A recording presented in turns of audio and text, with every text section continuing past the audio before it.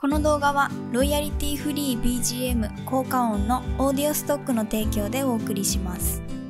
はい今回はですねあなたの、動画をカラーグレーディングしますというですねちょっと別な方から動画素材をいただいて僕がカラーグレーディングしていくというですね、まあ、そんな企画をやっていきたいと思います。今回ですねゆうさんという方が、今この映っている映像はですねそのゆうさんという方が撮影された素材になるんですけどこれをこれからですね、まあ、いつものように、カラーグレーディングをしていきます。で、ゆうさん自身もこの映像をカラーを調整されていて、まずね、その映像をお見せして、まあ、ちょっと分析というか、えー見ていきたいと思います。で、その後に、まあ、僕だったらどういう形で進めていくのかっていうのをですね、いつも通り進めていきたいと思います。はい。そしたら早速、まずゆうさんが、え編集された映像ですね。まあ、印象なんですけど、第一印象ですね。第一印象は、その背景のところが明るいっていうところで、結構被写体がすごく浮いて見えるっていうところと、えーまあ、それはポジティブな意味でですね、浮いて見えるっていうところと、あとはサイド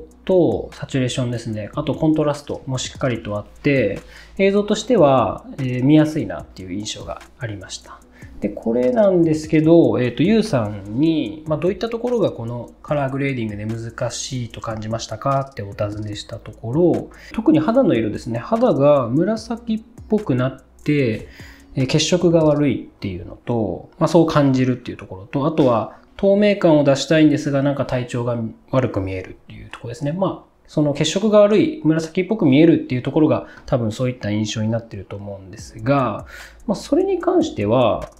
あの、まあ、正直なところ、その血色が悪いっていう印象は僕はなかったですね。どちらかというともう本当に全体的に明るいので、その印象の方があの明るくてこの被写体が浮き出て見えるっていう最初にお伝えした印象が一番なところでした。で、その紫っぽく見えるっていうところを、まあ、一応ちょっと分析しようと思うんですけど、えっ、と、そうですね。今肌のところを見ていくと、ベクトルスコープ今ここの、えスキントーンインジケーターでこのラインのところがあると思うんですけど、まあ、肌の色は比較的そのライン上に乗っていて、で、紫ってまあ赤と青の間ぐらいの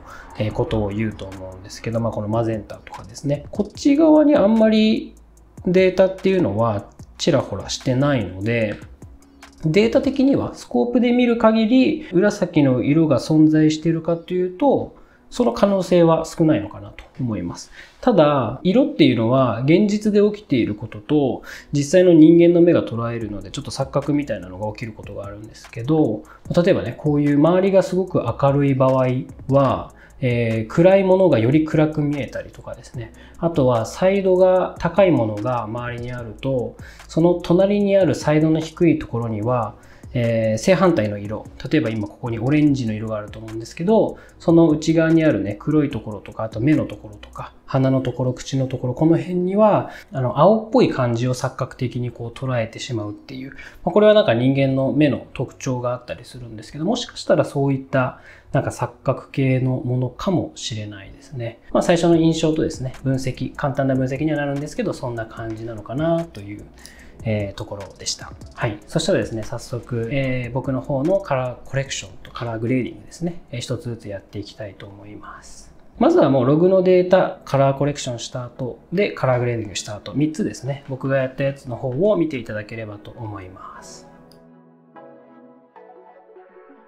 はい。で、カラーコレクションしたのがこちらになります。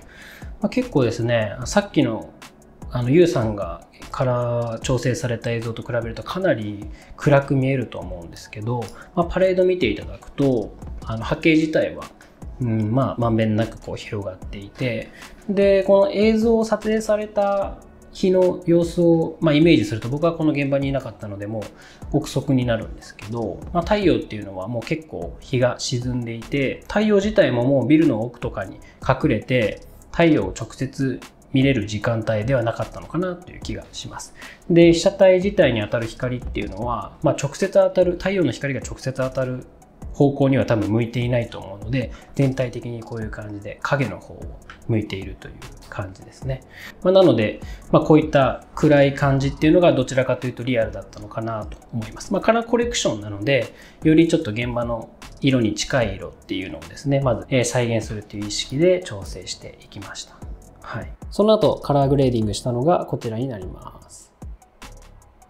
はい。そしたら、まあ、意識したところはですね、えー、編集しながら詳しくお伝えしていきたいと思います。いつもの通り3つノードを立ち上げて、カラースペース変換を挿入します。で入力カラースペースと入力ガンマは、今こちらね、設定する内容が、えっ、ー、と、ユウさんがね、撮影した時の状態だっていうことだったので、今、カラスペース変換挿入しました。で、この段階で、まあ、わかるのが、やっぱりこう、撮影する時に、すでにこう、結構明るめで撮影されたっていうのがわかります。ね、あの、まあ、多分現場が結構暗い時間帯だったっていうのもあって、えー、カメラ越しでちょっと明るめに設定されたと思うんですけど、まあ、これが狙って明るめに撮影されたのであれば全然問題ないんですけど、カラーグレーディングで多めにこう色を残しておきたい、もしくは、えー、明るさとかはですね、あの幅広く、できるだけ幅広く編集中に行いたいっていう場合は、これ今明るいところが結構ね、あの色とか情報が圧迫されているので、もう少しこう全体が下の位置で撮影できると、まあ、まんべんなく暗いところも明るいところも情報を残すことができたんじゃないかなと思います。まあ、あの修正はできるので、まず露出度ですね。露出度を調整していきたいと思います。で、この時注意するのはこの前の動画でもちょっとお伝えしましたけど、肌の明るさが、まあそうですね、50%、まあ50%から70%、75%ぐらいの間で肌の明るさっっていうのはあるといいと言われてるんですけど、まあこの日のこのロケーションっていうのは、もうこっち側の光っていうのは暗い側なので、まあ50%ぐらいでいいのかなと思います。なので肌の色が50%になるように、で、空の、これ一番明るいところだと思うんですけど、ここら辺があまり飛びすぎないように。で、シャドウのところは、え潰れすぎないように調整していきたいと思います。原因を減らして、ガンマを上げるとかですね。リフトを減らして、ガンマを上げる。うん、ガンマはやっぱり肌のところを一番調整しやすいエリアだと思うので、ガンマはできるだけこう、上げて、で、ハイライトは落とすという感じですね。はい。まあ、とりあえず、こんな感じでいいのかなと思います。で、次、ホワイトバランスですね。ホワイトバランスは、ベクトルスコープのここを見ながら、えー、肌の色がライン上に乗っているのかっていうのと、まあ、これは白っぽいものがないので、そうですね、一番暗そうなところ、この髪の毛の一番黒い内側の光が当たってなさそうなところにカーソルを合わせてるんですけど、ここで今、パレードのこうですね、ここを見て、3つが揃う場所ですね。ちょっと赤が強い、緑が強いっていう感じなので、えー、色温度ちょっと青の方に寄せてですね、ちょっと色相も少し角度を変えておきたいと思います。今、こちらのベクトルスコープを見ながら、肌色のところが、まあ、若干なんかイエロー寄りに傾いているので、それをちょっと角度をほんのちょっとだけ変えて、オレンジのラインの方に乗るように今調整しました。はい。で、次、コントラストですね。コントラストは、まあ、これはもう好みで OK。とりあえず、えー、上4つのノードが終わって、次はですね、この前の、1個前の動画でもちょっと紹介していったんですけど、肌の色の調整をやっていきたいと思います。肌の色っていうのがやっぱり青みがちょっと入ってしまうとちょっと不自然な肌色になってしまう見えてしまうことがあるので、まあ、そこを注意しながらホイールを使って調整していきたいと思いますで肌の色のところはですね、まあ、大体さっき50%ぐらいに調整したので主にこのガンマのところが、えー、中心になると思うのでまずここを少しベクトルス本当これ細かい操作なんですけど、まあ、ぜひね前回の動画をちょっと見ていただければと思います。気になる方ですね。ここはもうパパッとやっちゃいます。特にリフトのところをほんとちょっとずつオレンジの方に寄せてるっていうところですね。で原因はどっちかというとカウンターで戻してあげるという感じで、はい、一つ目のノードが終わりました。で、次は、えー、より、え、今調整した内容を修正していくところになるんですけど、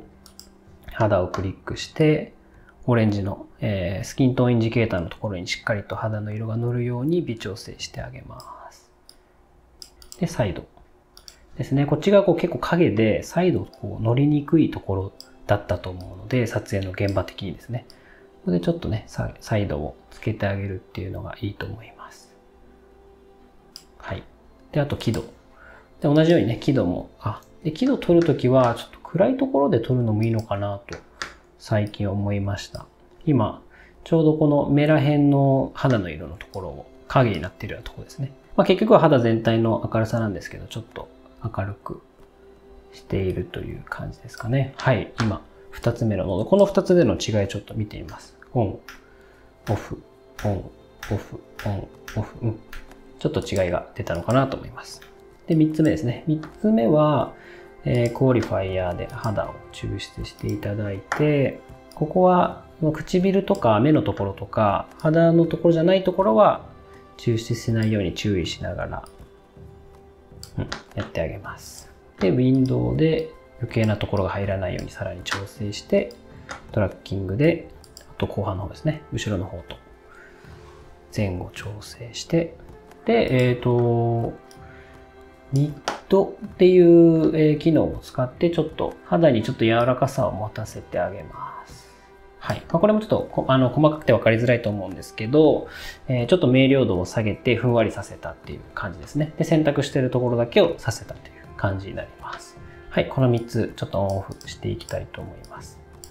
肌の色、編集前、編集後、編集前、編集後っていう感じですね。まあ、違いがわかるのかなと思います。で、まあ、肌の色だけじゃなくて今若干ですけど周辺の、え、背景とかにも色の違い出てたと思うんですけど、まあ、それが気になる場合は一つまたノード立ち上げていただいて、え、ホワイトバランスの調整していただいても大丈夫かと思います。とりあえず今回はこの3つでまあ、若干ちょっとオレンジっぽくなりましたけど、しっかりね、あの、青もまだ残っているので、このままいきたいと思います。今度はカラーグレーディングですね。カラーグレーディング1つ目。ここはですね、まあ、被写体をまずはちょっと気にせずに、後ろの背景を意識しながら編集していきたいと思います。で、後ろの背景が、まあ、空のちょっと明るいところと、オレンジっぽくなっているところ。まずここにね、色の違いがあると思うんですけど、そこをもっとこう強調して色を作っていきたいっていうのと、あとビルのところですね。ここちょっと青っぽくなってて、まあ影のところになってると思うんですけど、ここをもう少ししっかり青っぽさを出して、もう少しこうトーンを落としていきたいなと思います。で、あとは海、この川ですかねっていうところも、これはまあ空と同じような感じになると思うんですが、背景の色と建物のこう暗さとかですね、えー、作っていきたいなと思います。これをですね、HDR のホイールを使って作っていきたいと思います。ここにですね、まあ、ハイライト、この各項目の横のボタンを押していただくと、今選択されて、選択というか、その調整する範囲がこうやって見ることができるんですけど、今これ空ですね。で、ライト。これは空プラス肌、プラス、まあ、川みたいな。で、シャドウっていうことですね。それぞれ選択範囲があって、この範囲ですね、切り替えることができます。ハイライトボタンを押していただいて、この、こちらのハイライト、ちょっとややこしいですね。こちらのハイライトの左側のをこうしていただくと、ハイライトのエリアをどこにしますか？という切り替えることができます。で、最初にしたいのは、空のこの明るいところ、青っぽいところとオレンジのところをしっかりと分けてあげたいので、まずはハイライトはオレンジっぽさがないところ、白いところ、明るいところ、明るいところ、青っぽかったところだけが選択できるように、こういう感じで調整しておきます。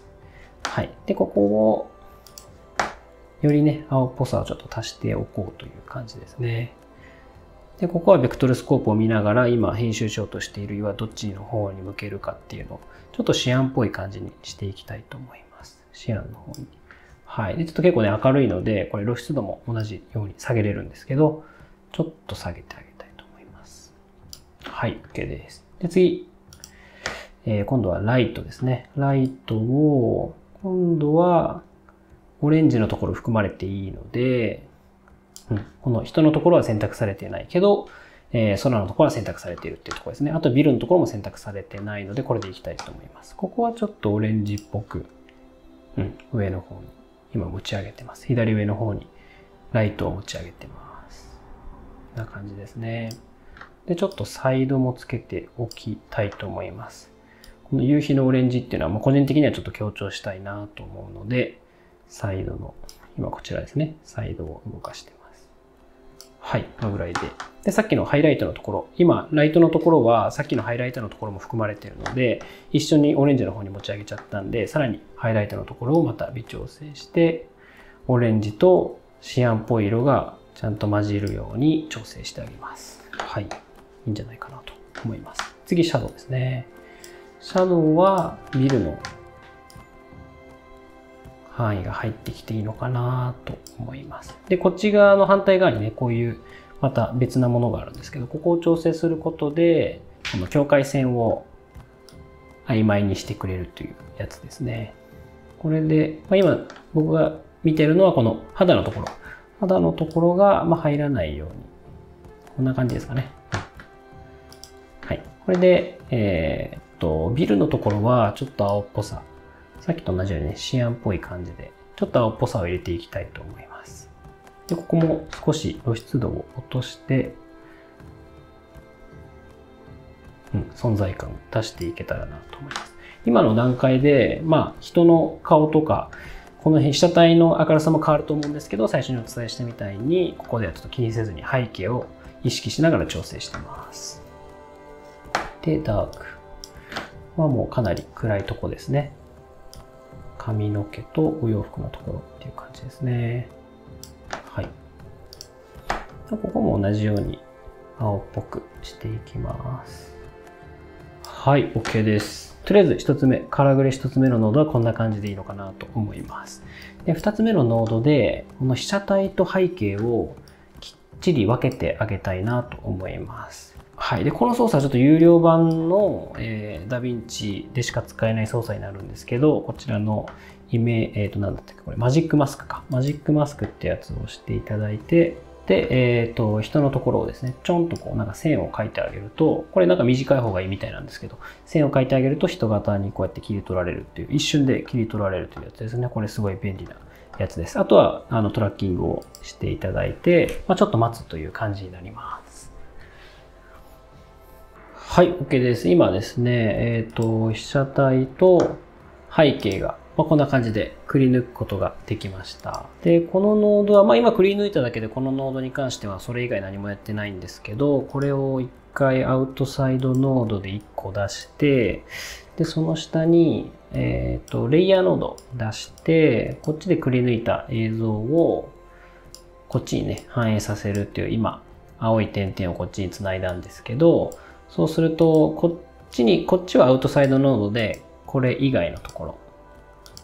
が、えー、なっていて、上の方はですね。で、下の方は、えー、さっきのくり抜いたやつをそのまま持ってきたので、人がくり抜いたこっち側が映っているというところですね。で、これレイヤーになってるので、こっちの方が前という、えー、仕組みになってるので、こっちに対してこれからさらに背景の調整をして、で、こっち側は背景の調整の影響を受けずに別で被写体に対するアプローチっていうのをこっちでは、していきたいと思います。と、まず背景ですね。背景はさっき結構色の方向性は作ったので、ここではまあコントラストを、コントラストとサイドをつけていきたいと思います。サイドはもうシンプルにホイールの、え、サイドをちょっとね、上げてですね。で、カーブで、こう好みのコントラストをね、作っていきたいと思います。ちょっとサイドつけすぎかな。オレンジが強いですね。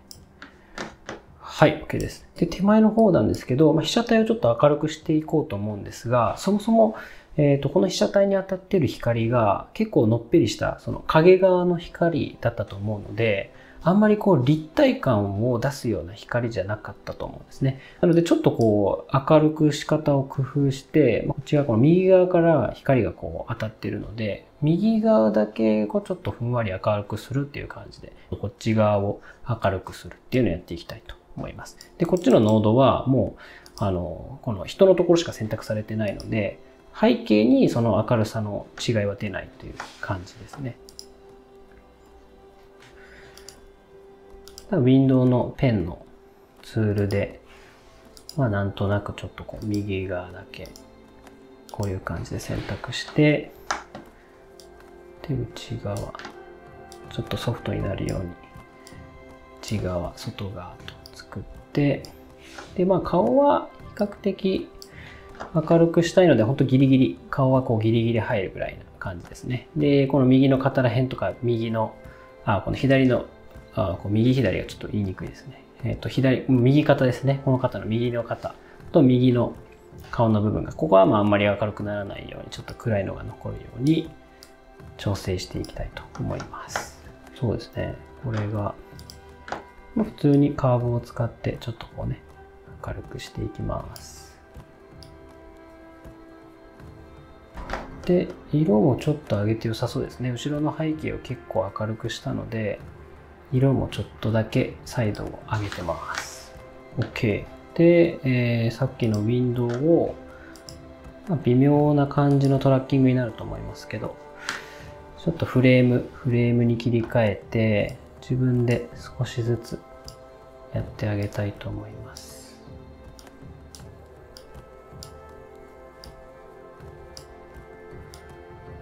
まあなんか軽い感じでいいと思います。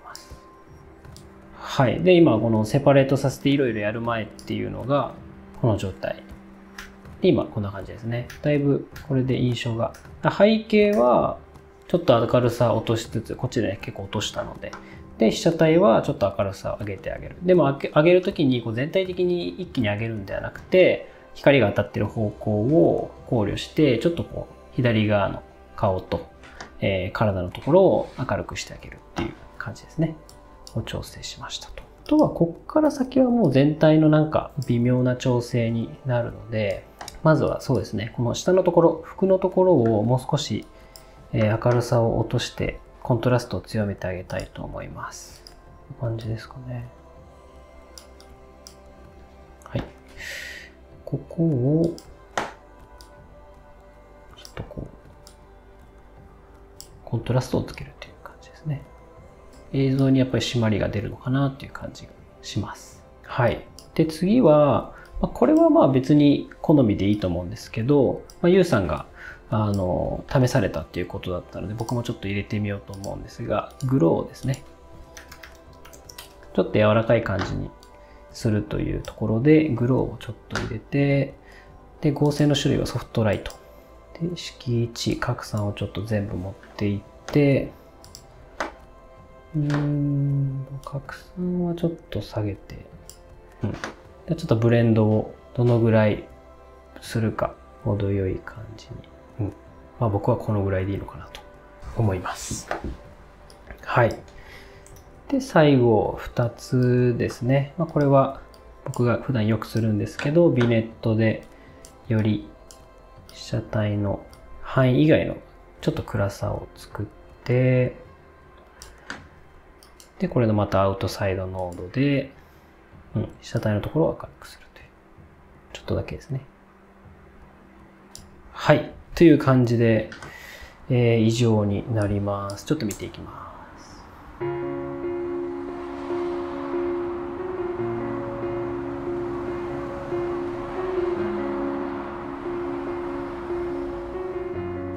はい。で、まあそうですね。例えば、まあ後からもう少し肌の、うん、なんか白っぽいなっていう感じがあれば、まあこれは人があの選択されているノードになるんですけど、えっ、ー、と、ここの、えー、カーブを使って肌色のところですね。このサイドを、まあ、ちょっとだけこう上げてあげる。まあ全体を見ながら、あとは微調整していくといいのかなと思います。はい。まあ、ちょっと動画が長くなったと思うんですけど、えー、ぜひ参考にしていただければと思います。はい。で、ゆうさんね、今回は動画の素材を貸していただいてありがとうございました。すごく僕も勉強になりました。ありがとうございます。はい。皆さんも、えー、これからの制作の参考にしていただければと思います。今回もご視聴ありがとうございました。また次の動画でお会いしましょう。バイバイ。